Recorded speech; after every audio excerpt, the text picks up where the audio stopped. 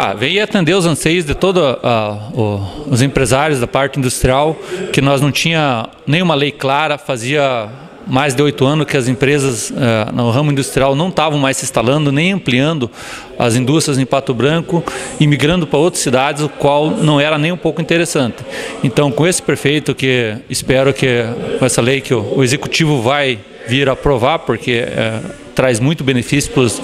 para o município e para os munícipes também, porque gerando emprego, gerando imposto, eu acho que faz, é muito bom para todos a, da sociedade. Então, acredito que o prefeito vai sancionar sem maiores restrições e vamos uh, trabalhar junto com a prefeitura agora,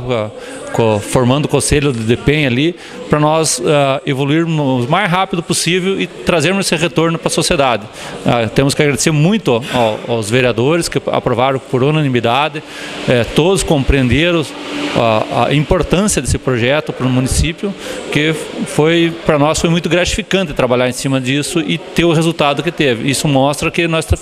trabalhamos com um projeto sério e uh, foi convalidado pelos vereadores e futuramente pelo prefeito.